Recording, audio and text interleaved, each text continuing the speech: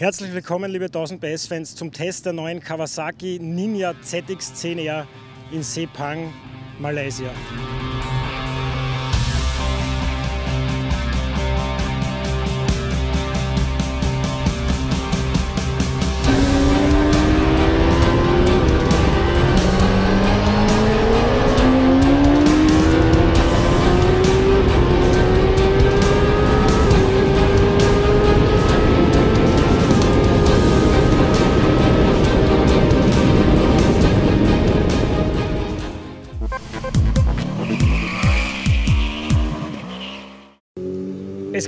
Highlights im Leben eines 1000 besser Redakteurs und es gibt völlig abgehobene Highlights und dieses hier ist so ein Highlight.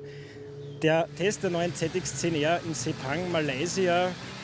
Vielen dürfte diese Strecke vom letzten Jahr MotoGP-Rennen in schlechter Erinnerung sein. Aber vergessen wir das Ganze. Wir sind ja auch mit Kawasaki hier. Das ist natürlich nicht das neue Serienbike, sondern das ist das Motorrad von Jonathan Ray oder Ray.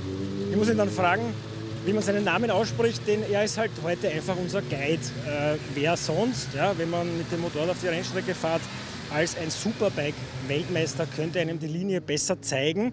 Die ist nämlich besonders schwer hier in Sepang. Es sind auch echte Rennfahrer hier.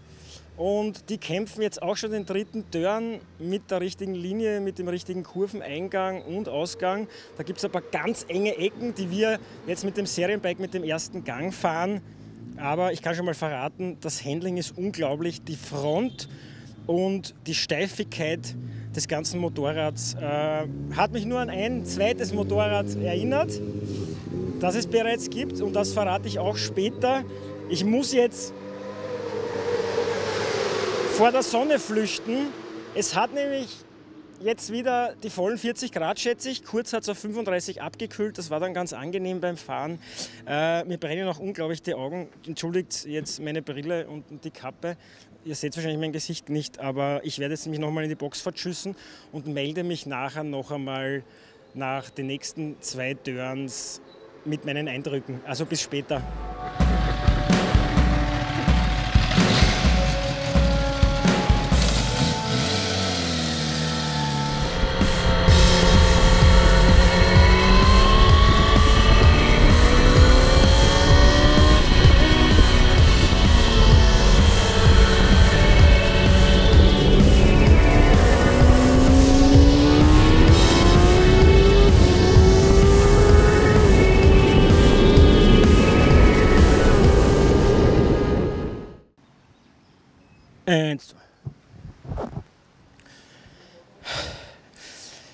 So, liebe 1000 PS-Fans, ich muss mich leider etwas abstützen. Nach drei Turns bin ich vollkommen erledigt. Also sowas habe ich noch nie erlebt und ich bin mit Nils schon bei 35 Grad ein viereinhalb Stunden Langstreckenrennen gefahren, zu zweit. Und das war angenehm kühl im Vergleich zu dem, wie es hier heute ist. Hätte ich mir nicht so schlimm vorgestellt. Die ersten werfen auch wirklich schon das Handtuch, obwohl noch zwei Turns auf uns warten, mit den Kitbikes. Ähm, trotzdem können manche nicht mehr. Gott sei Dank bin ich top in Form, top fit. Die 400 Liegestütze pro Tag haben sich also ausgezahlt. Und äh, deswegen werde ich noch nicht aufgeben, sondern jetzt mal die Mittagspause abwarten und dann mal einen Turn fahren, schauen wir, ob sich der letzte auch noch ausgeht. Die neue ZX10R ein Wahnsinn, kurz gesagt. Die drei größten Pluspunkte für mich ist einmal die Front, die Transparenz der Front, das Gefühl an der Front, die Steifigkeit und zu guter Letzt auch die Power. 200 PS steht wieder im Heft, allerdings wird das jetzt schon deutlich näher kommen vom Gefühl her, trotz Euro 4 Norm. Es wurde einiges geändert. Weltmeister ist man ja geworden 2013 und 2015. Der aktuelle Weltmeister ist ja auch hier als Guide engagiert. Also das ist äh, eine echte Ehre für uns. Seit 2011 gab es dieses alte Modell, jetzt alte Modell und beim neuen wurde der Motor, das Fahrwerk, das Chassis und die Elektronik überarbeitet bzw. überhaupt komplett neu erfunden.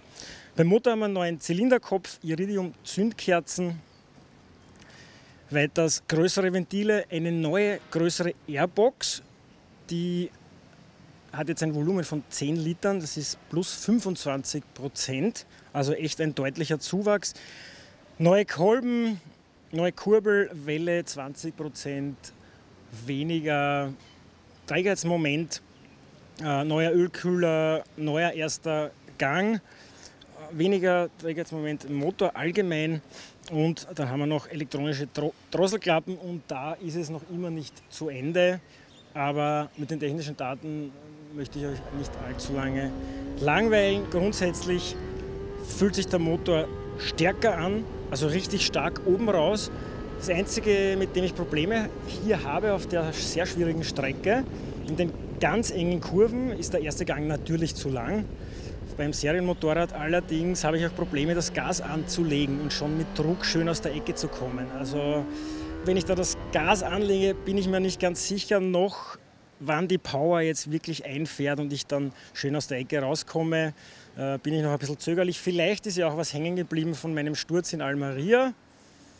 Der war zwar deshalb passiert, weil ich zu schnell war, zu schräg und zu blöd. Äh, ich habe auch ein paar Stellen hier leicht bergab runter, wo ich merke, dass, dass, ähm, dass ich das nicht ganz ausblenden kann. Aber gut, da fahren wir dann halt ein bisschen vorsichtiger, ist auch kein Problem. Werde schon wieder reinkommen. Die Sensation bei diesem Motorrad ist natürlich die Gabel. Zum ersten Mal im Einsatz bei so einem Serienmotorrad von Showa und zwar wurde die entwickelt wirklich mit dem Kawasaki Racing Team ähm, und das ist eine andere Welt. Also das Ganze fühlt sich so an, als wäre das Fahrwerk gemacht. Also ich kenne das normalerweise nur von Motorrädern, die seriennah sind oder eigentlich Serie, aber wo das Fahrwerk einfach gemacht ist, Fahrwerk verbessert, was ja viele tun, die ein bisschen ambitionierter sind oder die öfter auf der Rennstrecke unterwegs sind. Und genauso fühlt sich das an. Öhlins Lenkungsdämpfer, Dämpfercharakteristik wird eben von der arbeiteten Feder nicht beeinflusst. Dadurch hat man einfach mehr Transparenz, mehr Gleichmäßigkeit. Das Ganze soll, das kann ich noch nicht bestätigen, im Alltag bequemer sein und auf der Rennstrecke einfach transparenter und genauer und soll natürlich vor allem in den schnellen Kurven für mehr Stabilität sorgen.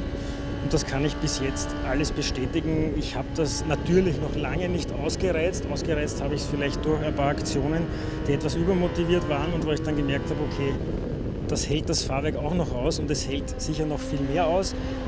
Eins ist mir passiert und zwar gibt es da zwei lange Geraden, bei denen man jetzt ähm, über 250 erreicht, sage ich jetzt einmal.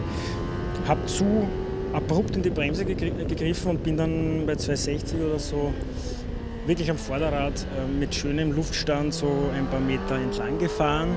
Das Ganze hat sich aber schön wieder gesetzt und blieb einfach wieder auf Linie. Das war unglaublich. Also fast so, dass es mich nicht geschockt hat. Äh, aber ein bisschen Angst habe ich schon gehabt. Was ist noch verändert? Die Schwinge wurde 15,8 mm länger hinten.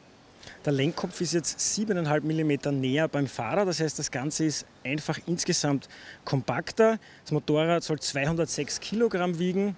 Wie gesagt, mit Euro 4 und mit dieser ganzen Elektronik, mit den ganzen Fahrhilfen, die drinnen sind. Und es fühlt sich deutlich leichter an, muss man sagen, durch diese Änderungen am Motor, vor allem in den Wechselkurven. Es gibt da gleich nach der Stadt Ziel eine ganz enge rechts und dann links, da geht es so bergab. Ich glaube, da muss man reinschneiden, aber ganz habe ich die Linie noch nicht verstanden. Und dann gibt es eine, eine, wo man schnell umlegen muss und in, in, diesen beiden, an diesen beiden Punkten kann man das genau erkennen, wie leicht sich dieses Motorrad fährt. Und ich war ja früher ein echter 600er Fan, aber mittlerweile sind die 600er fast obsolet, äh, sage ich mal ganz vorsichtig, zumindest für mich, weil man hat jetzt das Handling einer 600er, annähernd natürlich, mit der Power einer 1000er. Äh, ich weiß nicht, ich möchte jetzt fast nur mehr 1000er fahren. Wir werden sehen, was mit den 600ern also in Zukunft passiert. Aber das ist sensationell, was sich da in den letzten Jahren getan hat, weil man natürlich diese ganze Entwicklung, das ganze RD in die 1000 auch gesteckt hat ja, und die 600er eigentlich eher liegen gelassen hat. Ein echter Wahnsinn sind auch die Bremsen. Vorne 330er Scheiben und Brembo M50 Blöcke, die Monoblock-Bremsen, die dann auch noch ähm, von Kawasaki natürlich eingestellt wurden. Äh, wahnsinnige Transparenz und unglaublicher Biss, aber nicht aggressiv. Also das, diesen Fehler, den ich vorher gemacht habe, das war ganz eindeutig viel zu fest reingriffen, viel zu schnell. Ähm, aber ich hatte sonst überhaupt keine Probleme. Also sie ist garantiert nicht zu scharf, aber sie ist, sie ist echt optimal. Wir haben natürlich auch jede Menge Fahrhilfen auf diesem Motorrad. Traktionskontrolle habe ich schon erwähnt. ABS, das Ganze natürlich einstellbar.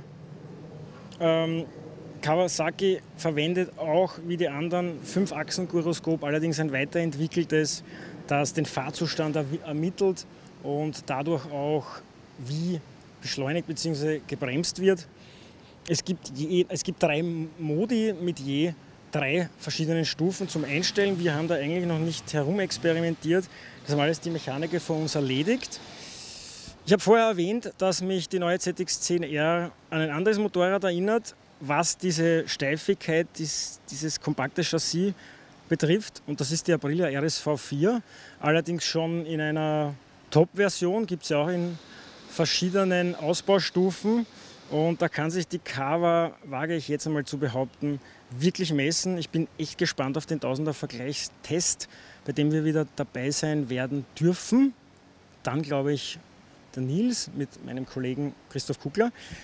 Und ähm, Kava wird ganz vorn dabei sein. Äh, sogar Jonathan Ray hat gemeint, das ist ein unglaubliches Top-Motorrad. Er ist in Portimao auch damit gefahren und hat Zeiten erreicht, die er selber nicht geglaubt hätte. Ich meine, gut, er ist bei Cover angestellt und er wird nicht schlecht über das Motorrad reden, aber in dem Fall glaube ich ihm schon. Diese Superbike-Rennfahrer sind irgendwie sehr, sehr ehrlich, wenn es darum geht. Und er hatte heute auch wirklich viel Spaß, hat er gesagt.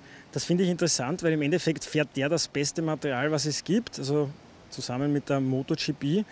Und trotzdem kann er mit einem Serienmotorrad Spaß haben. Und das sagt mir und bestätigt mir, wie hochentwickelt diese Superbikes mittlerweile sind. Natürlich sind sie auch sehr teuer, ähm, aber andererseits, so wie das jetzt fährt, da brauchte man vor ein paar Jahren noch ein paar Tausender und hat dann eigentlich, ist dann eigentlich auf denselben Preis gekommen, ähm, um diese Fahreigenschaften zu erreichen. Ähm, absolut faszinierend. Ich schmeiße mich jetzt nochmal in den Sattel und melde mich vielleicht sogar ein drittes Mal.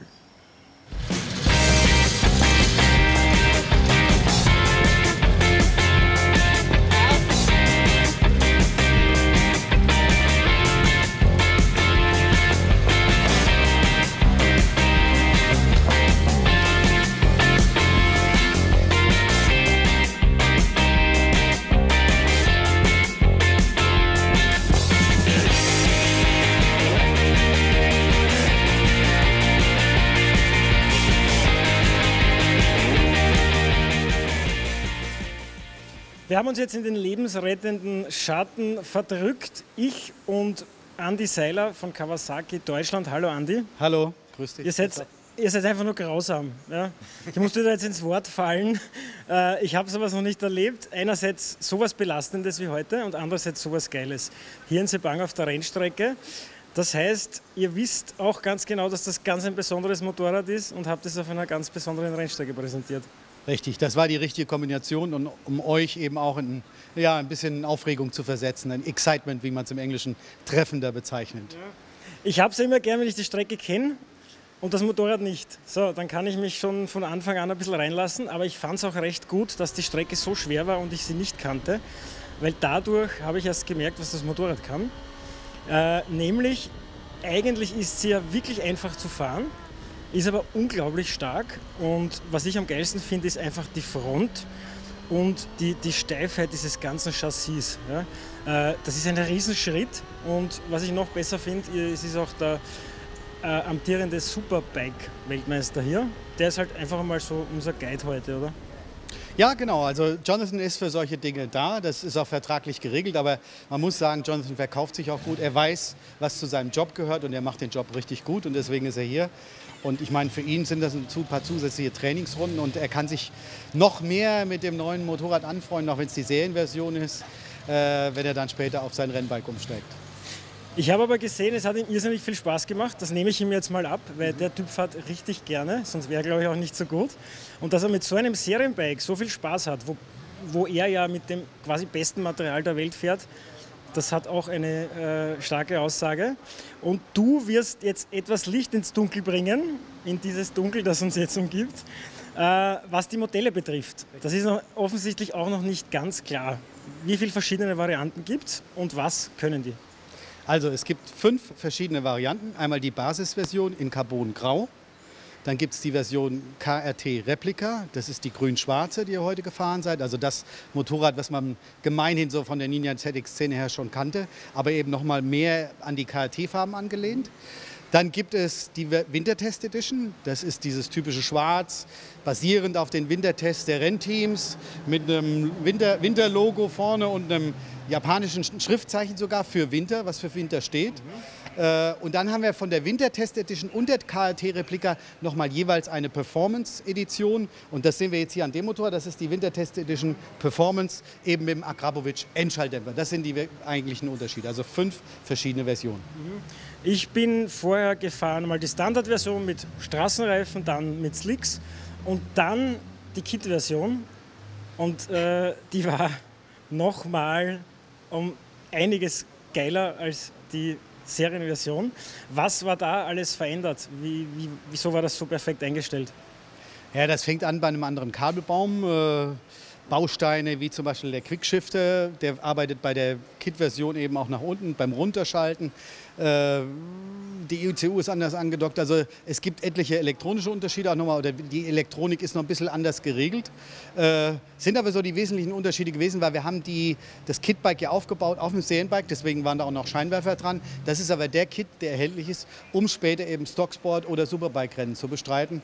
Und wie du schon gesagt hast, es macht einen himmelweiten Unterschied. Die Auspuffanlage ist ein wesentlicher Unterschied.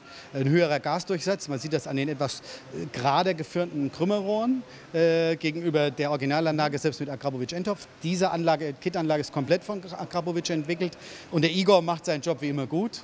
Äh, wir haben es heute gesehen anhand der äh, Charts, die uns Matsuda-san, der Project Leader, gezeigt hat, bis zu 20 PS mehr on top.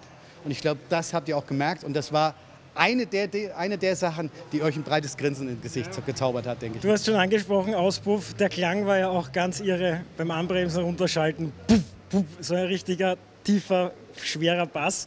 Anfangs war ich irritiert, aber dann habe ich es echt ja. genossen. Und diese Blipper-Funktion, muss ich sagen, das war auch für mich ganz wichtig. Mir tun nämlich schon dermaßen die Finger weh jetzt auf der linken Hand von Kuppeln. Und einfach dieses Runterklopfen, ganz exakt, äh, ganz einfach, rauf, runter, äh, war echter Genuss. Äh, obwohl ich, wie gesagt, noch nie mich so anstrengen musste, durch so eine Hölle gehen wie hier. Aber man sagt ja, wenn du durch die Hölle gehst, geh weiter. Und am anderen Ende äh, wartet dann die ZX-Szene her, glaube ich. Genau, genau. ja, okay. Dann vielen Dank und bis zum nächsten Mal. Wir schauen uns jetzt noch die Gabel genauer an. Mhm. Das ist nämlich auch genau. so ein bisschen ein Mysterium. Wir haben einen Schovermann hier, der das ganz genau erklären kann, beziehungsweise unser Mechaniker, der Janik Kaufmann, der das eben direkt ins Deutsche übersetzt. Und da wird nochmal klar, was wirklich der wesentliche Unterschied dieser Balance-Free Front Fork ist mit Ausgleichsbehälter, was der wesentliche Vorteil ist. Und ich glaube, das ist eines einer der Eckpfeiler der neuen Zehner, der sie um so vieles besser macht als das Vorgängermodell und auch als manches Wettbewerbsmodell. Gibt es auch zum ersten Mal im Serienbau überhaupt. Genau, genau. Okay. Das seht ihr bei einem anderen Video. Wir, wir, wir verabschieden uns und bis zum nächsten Mal.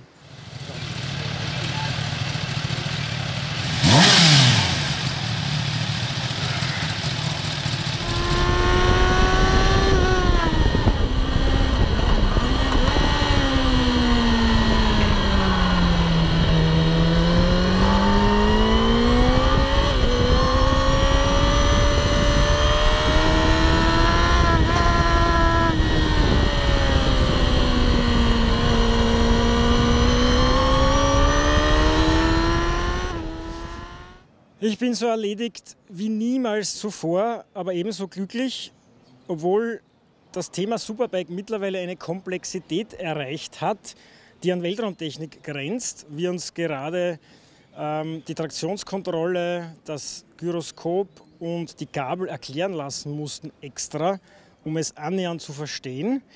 Geht es immer noch darum, was man auf der Strecke spürt. Und ich muss sagen, alles, was Kawasaki angegriffen hat, und das ist vieles, Motor, Fahrwerk, Chassis, Elektronik, das spürt man. Einen Riesenschritt vorwärts. Man wird dann in direkten Vergleichstests sehen, wie gut die neue ZX10R wirklich geworden ist. Ich glaube, sie ist ganz weit vorne dabei. Ich kann mich nicht erinnern, dass ich mit einem Serien-Superbike so eine Transparenz gehabt habe äh, an der Gabel vorne, so eine Präzision, so ein Vertrauen irgendwann. Also wirklich, dass man sich so heranbremsen kann, um den Hinterreifen zu heben. Viele Rennfahrer können das natürlich, aber für den Normalfahrer ist das oft utopisch. Wenn, dann schafft man das einfach unabsichtlich und möglicherweise auch mit Sturzfolge. Heute ist alles gut gegangen, obwohl ich natürlich manchmal absichtlich und manchmal unabsichtlich versucht habe, ans Limit zu gehen.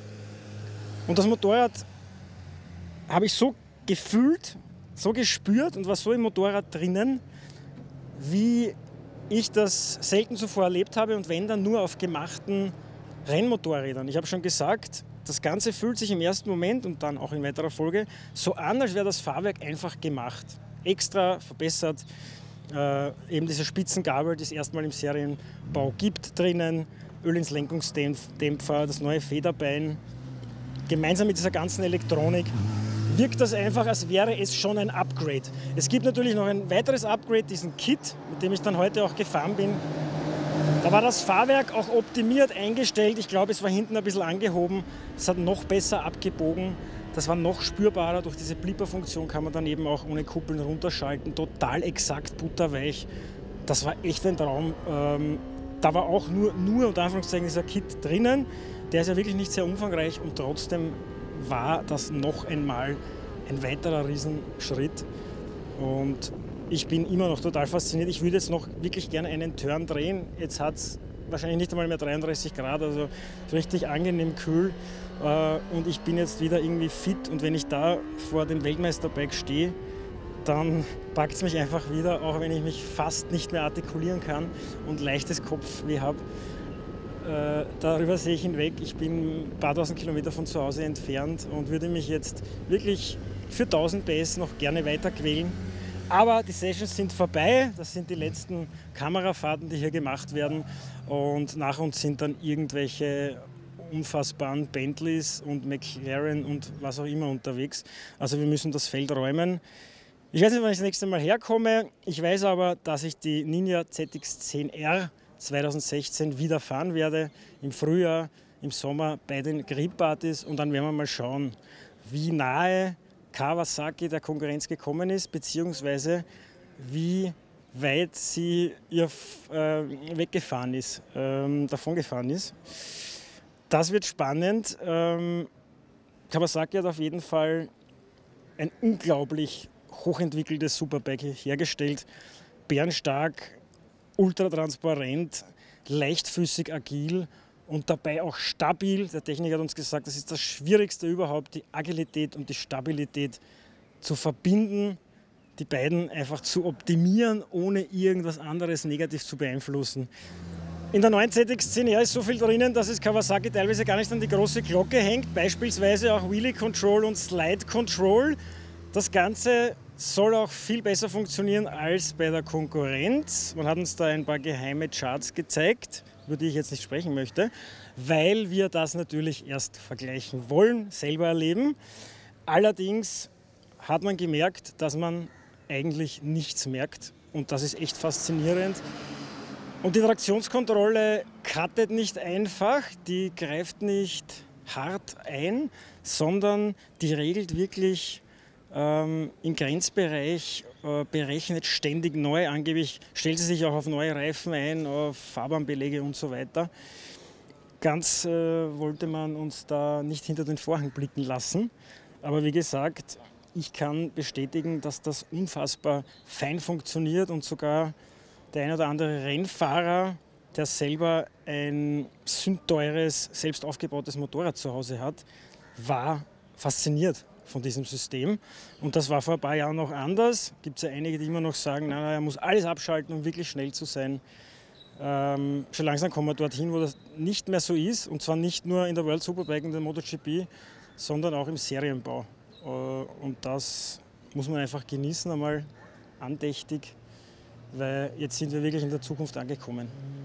Ähm, ich verabschiede mich jetzt, hole mir eine kalte Dusche oder lege mich einfach in die Badewanne mit Eiswürfeln. Wenn es euch gefallen hat, so wie mir, schenkt mir einen Daumen hoch, abonniert unseren Kanal, schaut euch unsere anderen Videos an und kommentiert bitte auch wiederum dieses Video. Wir treten immer wieder gerne mit euch in Kontakt. Vielleicht sehen wir uns ja auf der anderen, einen oder anderen Motorradmesse. Vielen Dank fürs Zuschauen.